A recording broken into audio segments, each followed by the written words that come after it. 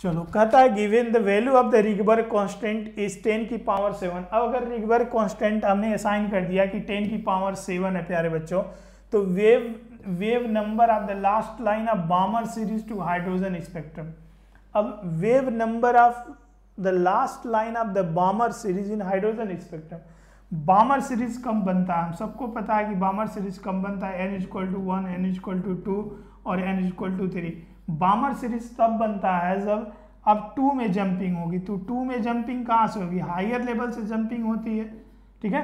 तो बामर सीरीज़ तब बनता है, बामर सीरीज़ तब बनता है जब प्यारे बच्चों n is equal to two होती है और n two is equal to three four five infinity से इस टाइप से जंपिंग होती है। तो फ़र्स्ट लाइन अब एक आता है लास्ट लाइन लास्ट लाइन कब होती है? लास्ट फोटोन कब जनरेट होता है?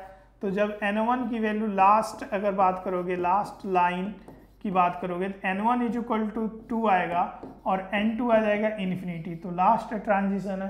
तो इस केस में जो लैमडा की जो वैल्यू आ जाएगी, वो आ जाएगी Rydberg constant one upon n one square minus one upon n two square होता है। तो यह आ जाएगा Rydberg constant one upon n one square मतलब फोर माइनस वन अपन यहाँ से फोर देखोगे तो वो इन्फिनिटी का स्क्वायर मतलब जो लेमडा की जो वैल्यू आ जाएगी लेमडा की वैल्यू आ जाएगी, वो आ जाएगी फोर बाई आर तो दिस इज़ द लेमडा अब हमें कहता है कि रिगबर कॉन्स्टेंट वेव नंबर हमें पूछा है. तो वेव नंबर पूछा लैमडा नहीं पूछा तो वेव नंबर जो होता है वेव नंबर वो वन अपान लैमडा होता है बच्चों. तो one upon lambda is equal to R upon four R की वैल्यू टेन की पावर सेवन है तो फोर तो one zero point zero point two five into ten की power seven this is the per metre ये zero point मतलब ये हम लोगों का आ, ये वाला ऑप्शन ए ऑप्शन सही है। तो मोटिवेटेड रहो एनर्जेटिक रहो।